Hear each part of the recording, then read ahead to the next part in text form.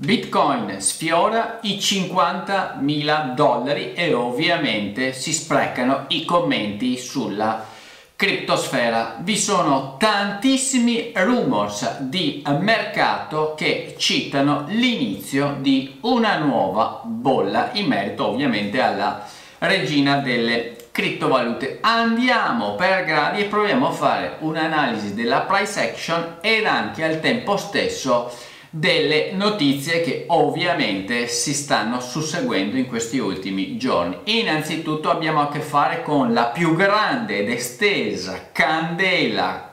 uh, giapponese con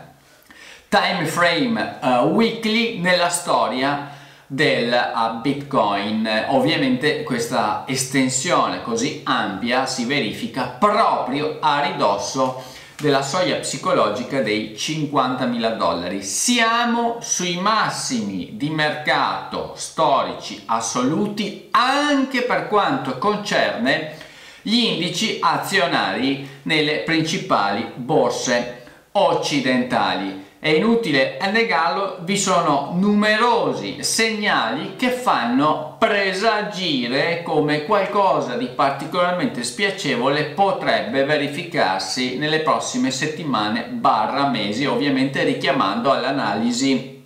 tecnica ed anche fondamentale tradizionale. Si sprecano gli endorsement adesso su Bitcoin per quanto concerne il ehm, il suo andamento, i massimi storici nuovi che sono dietro l'angolo secondo numerose, eh, numerosi commentatori della criptosfera ed anche attori di prestigio. Recentemente abbiamo avuto anche l'endorsement di due player istituzionali del risparmio gestito convenzionale, rispettivamente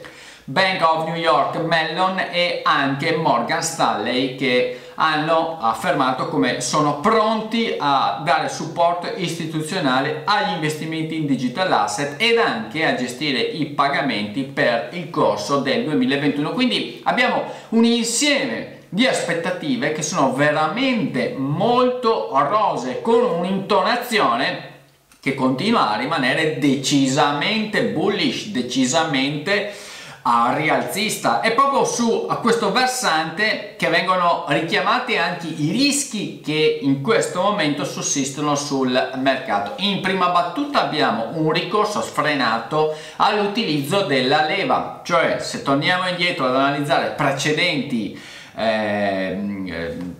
eh, bolle che si sono di prezzo che si sono verificate su bitcoin scopriamo che mancava all'epoca o alle epoche precedenti l'utilizzo e il ricorso alla leva finanziaria e eh, aggiungiamoci anche la presenza degli strumenti derivati. Vi sono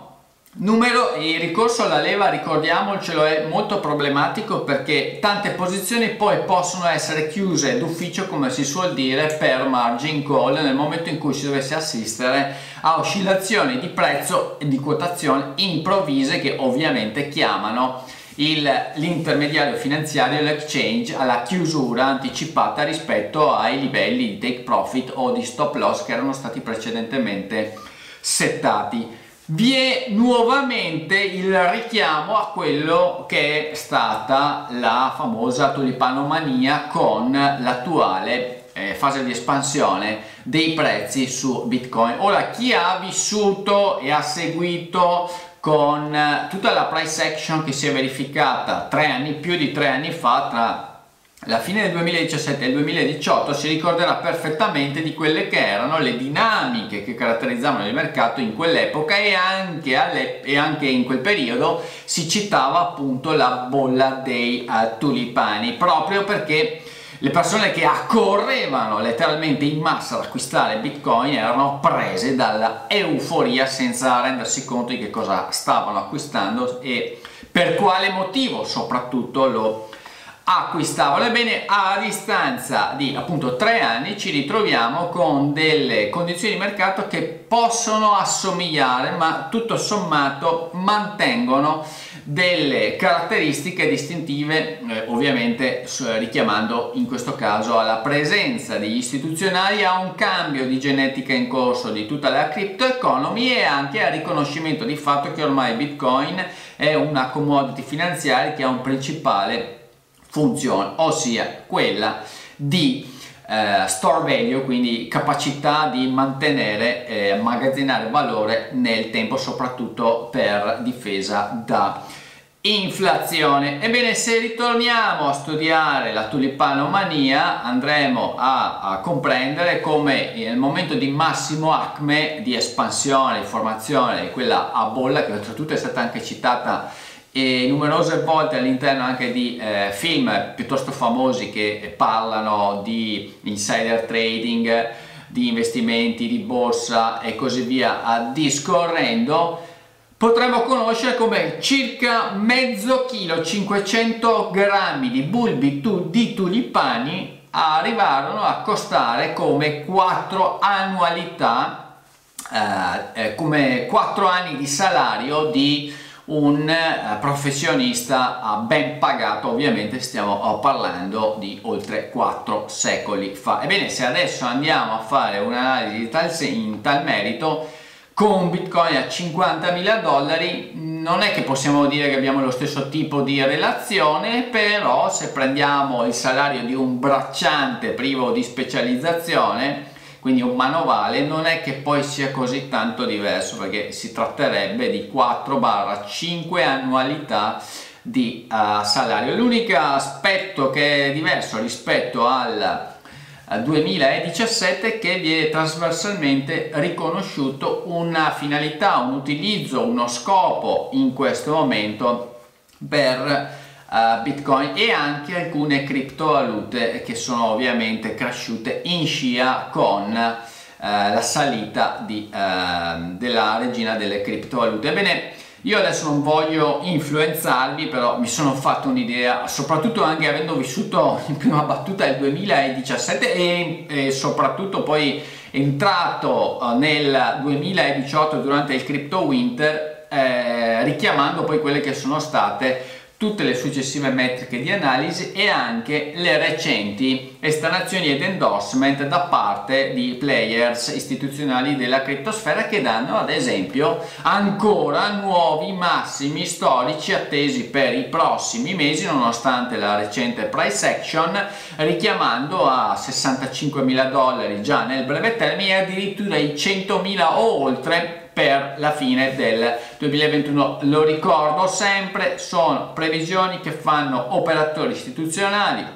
della criptosfera e, e a fronte di queste eh, proclami potrebbero perfettamente avere dei conflitti di interesse o meglio ancora degli interessi eh, non evidenti nel pubblicizzare in questo modo le eh, quotazioni. Ognuno pertanto deve fare la propria analisi e concepire la propria propensione a rischio e capire, comprendere se è il momento per lui di entrare o eventualmente di uscire nel caso in cui abbia costruito delle posizioni rialziste direzionali su Bitcoin Company e mh, valuti appunto l'idea di smobilizzare la posizione. In tal senso è opportuno anche non dimenticare mai che la volatilità che potrebbe improvvisamente esplodere sul mercato non consentirebbe poi di andare con facilità a chiudere le operazioni. Per quale motivo? Per il crash che subiranno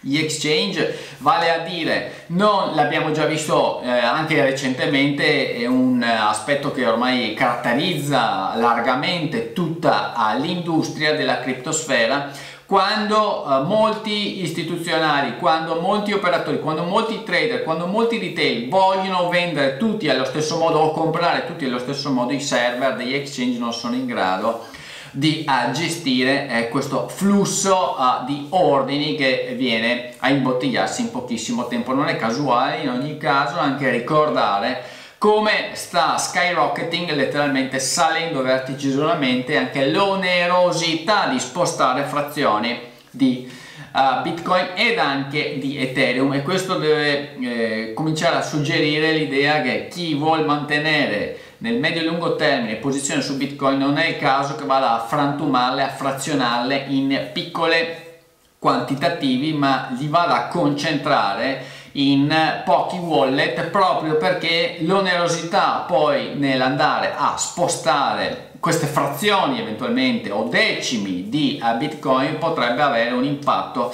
decisamente significativo e molto plausibile che se continuerà il trend attuale potremmo arrivare a sostenere tranquillamente oneri di commissione di transazione average transaction fee per spostare frazioni di bitcoin tranquillamente superiori ai 100 dollari in questo momento mentre parlo a seconda dell'exchange in cui Uh, che utilizzate andate eh, da una media dai 30 ai 40 dollari vi lascio come sempre in nota informativa della clip link esterni di approfondimento tematico per comprendere quali sono e conoscere quelle che sono in questo momento le più uh, plausibili aspettative in merito alla price action attuale e anche a conoscere quelli che sono altri punti di vista se in questo momento siamo in new bubble o in una nuova mass adoption.